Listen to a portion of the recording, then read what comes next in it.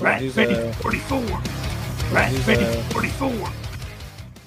Welcome back to another Rat Face 44 reviews. My name is James, and today we have G.I. Joe Classified Series, Cobra Dreadnok, Gnawgahyde, Pork Belly, and Yobo. So let's get this started!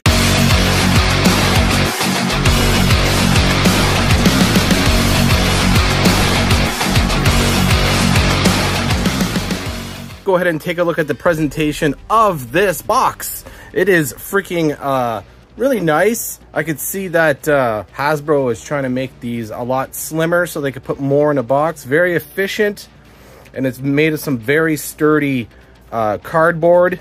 Um, I like the black and blue Cobra symbol, G.I. Joe classified logo, Hasbro logo, and a beautiful presentation of the figure and the uh, Warthog, Monkey, and all the accessories. Looks great. Check that out. Got boring stuff on the bottom. And on this side of the packaging, you have a really nice portrait of Gnawgahyde and the Warthog here. Number 125 in the line. And, and on the back of the packaging here, you see the beautiful digital artwork, Gnawgahyde and Pork Belly. And there is Yobo. And they're just kind of pissed off in the rain in a forest. here, boring stuff on the bottom. You got these uh, digital type of things like on the side here. And uh, very nice uh, box here, I might add. I like this style. And this is kind of like the standard for all Hasbro action figures, uh, 112 action figures, like good old Deadpool here that I haven't opened up yet. If you want to see me open up some Marvel Legends, let me know in the comment section down below. That'd be great. So I got my trusty scalpel here. We'll go in from the bottom, which you can't. So let's go in from the side. Um, it looks like there's only two sides you can get into. There, seal has been broken.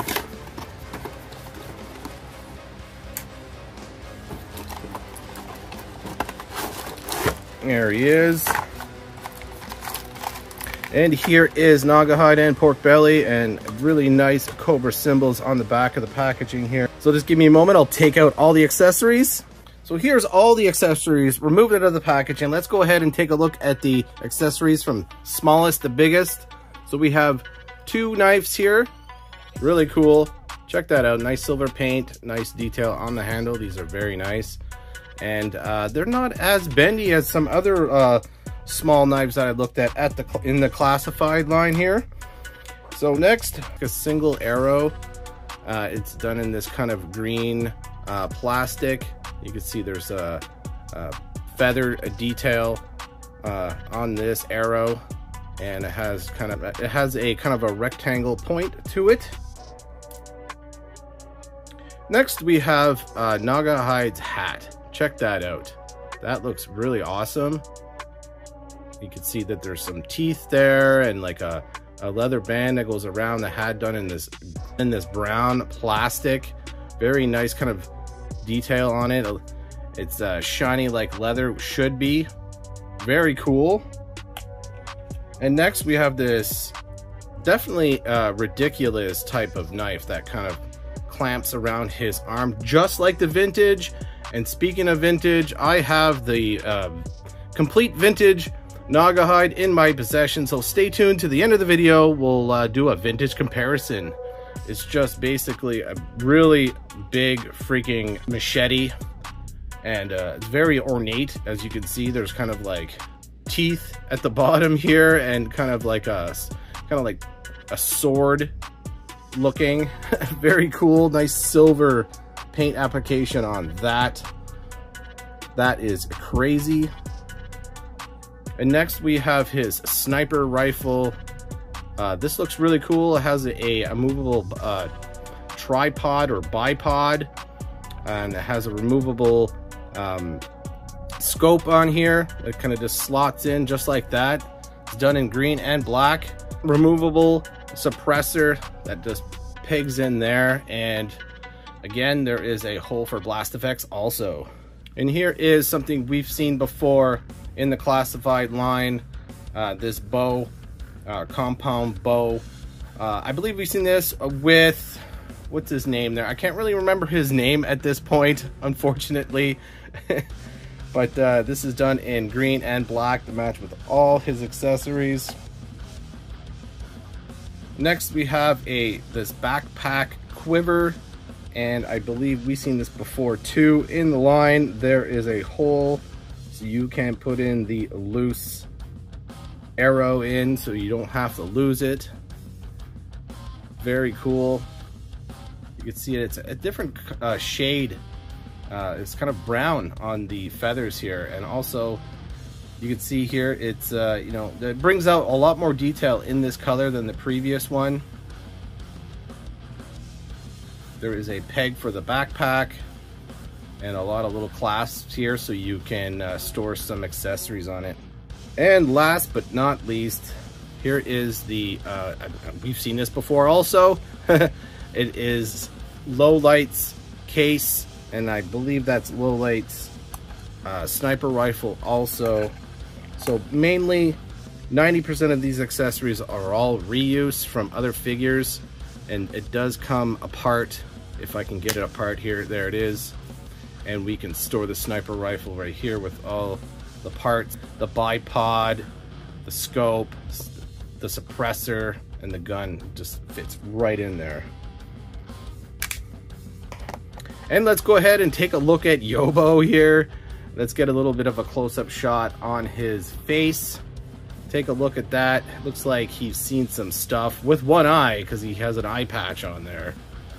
Uh, he is screaming. He is stagnant, so you can't move his limbs. Uh, he's just a little statue of a monkey uh, with some decent paint on there. It's kind of white on his belly, and the tail kind of uh, goes under his legs for some reason.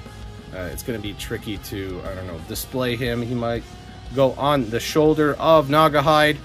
We'll try that out later on in this video. There are, are some kind of darker paint applications on his little feet and hands and uh, kind of a gray type of color, beigeish color and fur sculpted details. there it is. There is Yobo. All right, guys, let's go ahead and take a look at pork belly. Uh, I was pretty excited to check out and get another animal in the classified line. Uh, the animals are just awesome that uh, Hasbro is doing for the classified line. So let's go over some of the um, paint applications and the style of this Warthog. So let's start at the head here. As you can see, he has this uh, spiky nose ring with these tusks. One is broken cool dark paint applications wow the details on this and sculpting it looks really good and uh, got these uh, yellow orangey beady eyes uh, this looks freaking scary man if you ever see these things in the wild there are invasive and they are uh, hunted as much as possible and uh, he has this hair like like a mohawk on top that is awesome looks really good uh, does he have earrings? He has one earring here in silver. that is crazy. I don't know if this is an actual part of the paint sculpt. There is kind of a, like a black line here. Let me know. Uh, is your Warthog have that same type of uh, paint job? Looks like both sides are, so I guess it is. so you can see these uh, kind of hairy jowls here on his jaw. And speaking of mouth and head, I think his jaw or mouth opens up here. Um, I heard in the grapevine that the jaw is kind of loose. So it looks, see, yeah, you just need to, it, it comes right off pretty easily and it's easily put back on the jaw. So I don't know if I'm gonna leave, I'm gonna keep his mouth open maybe a little bit, but just be aware that, yeah, this falls out really easily. Not a big deal, but you can't overextend the jaw, so you can leave his mouth a little bit open. And you can see this is a little bit of a uh, tongue detail in his mouth. That is really cool. Check that out. This looks phenomenal. So let's go over some of the articulation and uh, the rest of the body here. So his head does move and it's on a ball joint. Got a lot of cool range of motion here. Check that out. You got these elbows, they are pinned. And the, the hooves are articulated also. Check that out. really cool. Uh, this looks phenomenal. And you have kind of the uh, waist, as you might call it here. it moves a lot. Check that out. Hind legs look great. They move very well. You got kind of a, a swivel here that kind of opens up. The tail does articulate also. It's just on a peg and you can just move it around. So overall, man, this looks really cool. Holy crap. We got a giant pig in classifieds. Amazing. All right, guys, let's go ahead and take a look at Gnawgahyde. So I've messed around with this for just a moment, and right off the bat, the Wiggle Test Ab Crunch, it is very, very loose. Uh, this is super disappointing. I'm going to start off with the negatives first, just offhand. And uh, another thing is is the reuse. Gung Ho uh, is all upper body is Gung Ho arms. I think the legs are, I think they're Roadblocks legs. Check that out. All right, so let's go ahead and take a look what has changed here or what did they add to this to make it look a lot different, which is very, very much appreciated that they changed up this uh, figure to make it look completely different. You know, they added so much more deco on here. Uh, like the tattoo on the arm, that looks phenomenal. Really cool to change that up. And also the Anarchy tattoo, which is really cool um, to make it look completely different. And the overlays like the uh, jacket here uh, or vest, it looks like it is removable which is awesome. So you could take his jacket off and the uh, obviously the teeth necklace and the dog tags that is around his neck. And this vest is uh, very, very cool. I like the details on it. It looks like it's, it is uh, leather or some sort of uh, uh, animal skin. You can see the details on here and the uh, kind of the leopard print on this thing. This looks really cool. And let's look, take a really close look at the head sculpt. Take a look at that. Only a face a mother can love. and that looks awesome. Check out that tattoo on the side of the head there. It's a nice snake with the tongue hanging out. That looks awesome. We got that earring. You got some mutton chops. Freaking awesome. Check that out. He looks half asleep or half awake and uh, he looks kind of pissed off also with his teeth showing. Uh, very good face print. Looks awesome. He has some scratches on his head. Check that out. That is freaking awesome. So his both earrings. You got the abs, of course. And going down his arms, you got pinned arms, of course, because it's old. You have these bracelets here with the teeth and the and the fur, black gloves, trigger fingers, you know, and to to be expected, the uh, butterfly shoulder joints are not the greatest, as we know, with Gung Ho. And on this arm here, you have a different kind of overlay, like this bracelet gauntlet thing has a lot of studs. Looks like it's in leather. And you got an armband here with the teeth. There's a, a trending thing going on here with teeth. The uh, joints move very easily.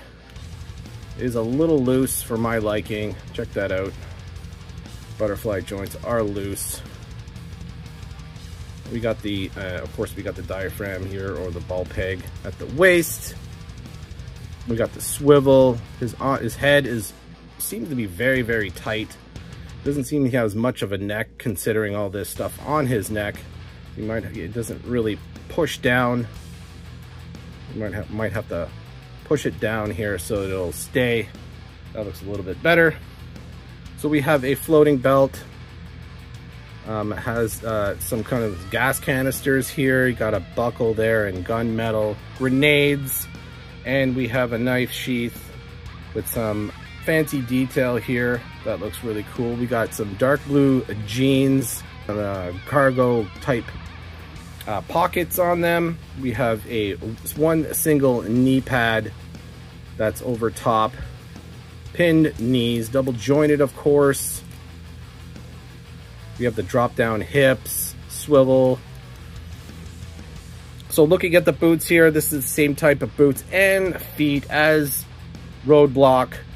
Uh, we got the knife sheath on the boot and we've all seen these boots before. So overall, this looks like Gnawgahyde. So let's go ahead and gear them up. Um, that's one thing they successfully done here with the reuse is they made them actually look like Gnawgahyde. Uh, you had one job to make them look like Gnawgahyde and they, uh, they did that. So that's awesome. But like I was saying, the QC is still not as good as I want it to be with these figures. Uh, I know they mass produce these things and they just need to keep keep control of that. But unfortunately got out of hand and uh, the trend is still happening with classified figures, unfortunately. So let's go ahead and gear them up. We got the boot knife and that fits in very tightly. We got the other knife that fits in the back here. That fits nice and snugly. We have his hat. Let's see how that fits and how that looks. That looks great. That brings it all together. He's freaking styling. So to tell you the truth, I'm not going to be using this with Gnawgahyde. Maybe the um, the quiver here slash backpack slash you know, let's see how that fits here. The, uh, the whole, so it fits on, doesn't come off. It was made for uh, another figure, so it may not fit very well. And it is uh, a little bit loose here, as you can see. So the, the, the unique weapon that he has here is this ridiculous type of machete sword thing that fits around his forearm. This thing fits kind of really weirdly and these things do bend. Um, yeah, that looks absolutely crazy, of course. if that's the right way you put it on, it looks like it. Don't shake his hand, whatever you do. So next we have the monkey Yobo. Hey guys, Future James here. So after messing around with this figure for a little while and the monkey and uh, I noticed and I kind of remembered from the live stream that you can plug the monkey tail into the backpack hole so you can keep old Yobo here connected and perched on his shoulder. That looks amazing and this is how I'm to display Gnawgahyde from now on. So let's go ahead and try out his uh, sniper rifle. Yeah, I might have him hold it he has really loose arms. I think I mentioned that already. So overall, uh, it's a great looking figure. Uh, QC, not good. Um, unfortunately, but he'll go really awesome with all your Dreadnoks. Um, I really like this figure. And let's go ahead and do a vintage comparison. All right, guys, so here is my vintage Gnawgahyde. Um, it This figure is one of the craziest figures for sure very uh, gaudy, as they say. I have him fully complete, and uh, he has a giant sniper rifle, and there is a bow that he comes with, which is, uh, I guess, nothing nothing like the uh, the reuse from the other figure, but this one's more like a traditional bow. And the quiver here, uh, it is nothing like the other quiver. It is just reused from another figure, but the uh, the unique accessory Gnawgahyde here has is the machete slash sword that wraps around his wrist.